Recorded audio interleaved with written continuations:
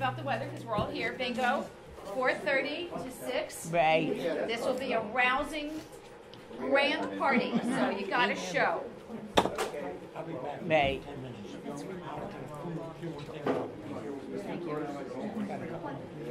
sure you, sure you, you, sure you want to you want to do it now?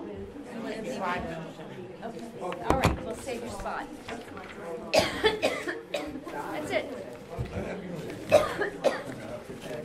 So it's really important. The, the, the sisterhood needs you at bingo. Don't forget. can get it if you want.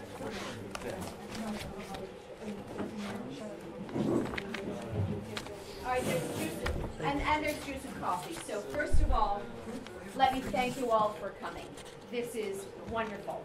And this is just the beginning. This is a project that we're going to be doing that's going to take probably about a year, year and a half. And we want to get everybody's memories about the beginning of Narragansett and then, you know, as they came and, and, and also what's going on in, with Gives me in a Baltimore hot City. In Baltimore, you know, you know, the, Baltimore also. So whatever you remember about Narragansett, about Baltimore, the Jewish community, you know, how, how things started for you and how you joined, you know, what made you join Narragansett, you know, whatever recollections you have, and I figured this would be an ideal way to do it because it's, you know, it's sort of family talk with each other about the good old days.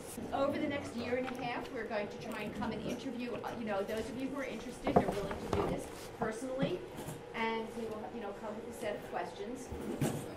And we are going to create our questions from, you know, like this is the, like the planning session, if you will, that from the, from the memories that you have here.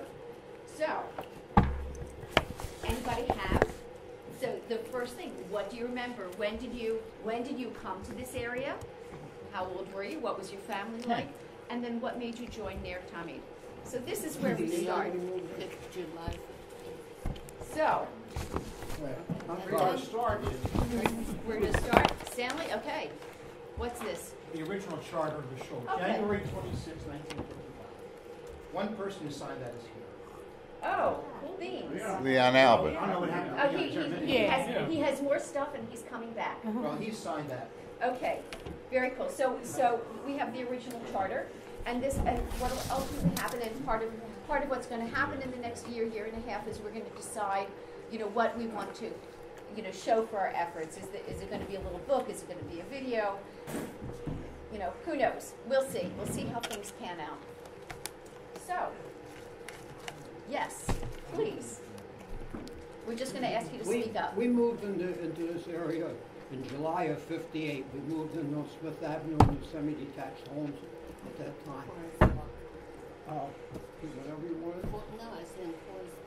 Oh, on What's Forest the name of the? No fire screen. Uh, Just, we- you know, just Oh. as loud as you, you know, just speak up, as loud as you can. And identify yourself, please. Yeah, yeah. This is Robert say, we moved into this area on Smith Avenue in the Forest Green Development, the semi-detached homes, in July of fifty-eight. At that time, there was already a cottage here, which was a shul. It was the only shul in the area, and obviously it's one of the reasons we moved in. Uh, I, I, that, uh, we, uh, the, the, there was a the name of, of, uh, Berger, Cantor Berger. The roofer.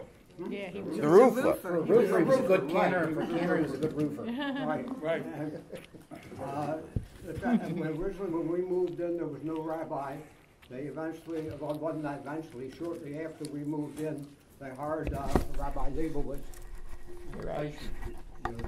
And uh, I remember some of the things about the, the, in the shul.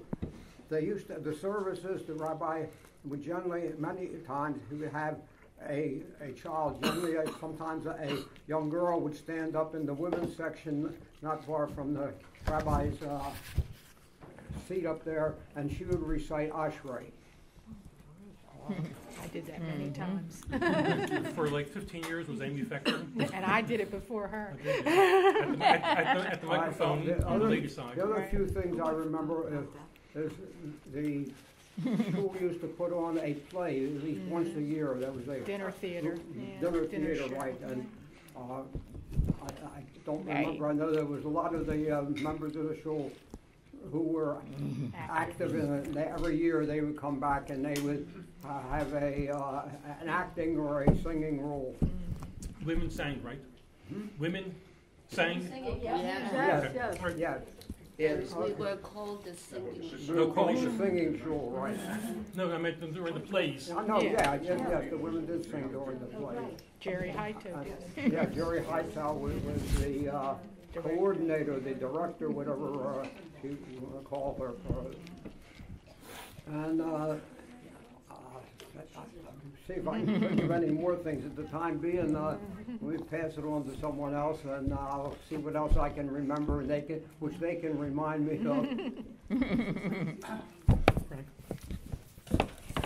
Frank Schuster. Uh, I was uh, looking for a place to uh, live in an Orthodox shul where I could walk. And uh, Sue was my, uh, uh, Scout. yeah, she was my scout. She went with a real estate agent all over looking. She called me. I was at Hopkins at the time uh, as a fellowship. She says, "Honey, I think I found the place. It's only a block away. They just built the shul a year or two earlier, and uh, I think you'll like it." I said, "Are men and women separated?" She said, "Yes." And I said, "Who's the rabbi?" And she says, "Rabbi Leibowitz." And I said, "I'd heard of him, but I didn't know him." But if you like it and you think it, it has all the recruitments that I wanted, then go ahead and buy it. She bought the house, and and uh, I came and signed it, and we moved here in in What year? 1962. 1962. Uh, it should have been two years old then. It just been built, I think. and uh, the Rabbi, Rabbi Leibowitz came over. We had Hanukkat Habayit in my house. He had a wonderful little celebration there. Leon probably remembers it.